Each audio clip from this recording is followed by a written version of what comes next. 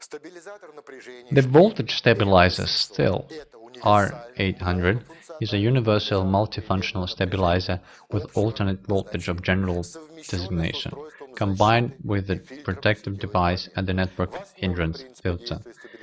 The working principle of the stabilizer is the discrete regulation of voltage.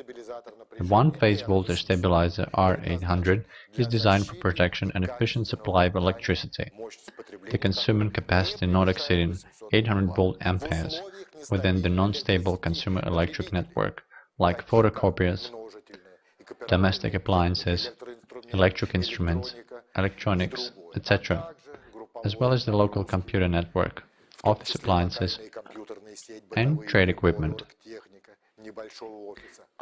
In conclusion, here is an example of its load capacity. Connect the stabilizer of a low voltage source that is uh, later.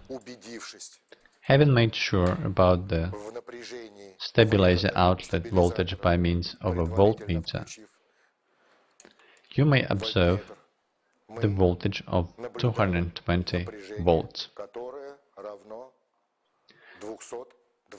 Now connect the load such as a powerful low-frequency amplifier.